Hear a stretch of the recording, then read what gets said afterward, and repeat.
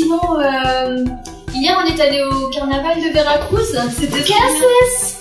¿Hablas con tus papás? Sí. Hola.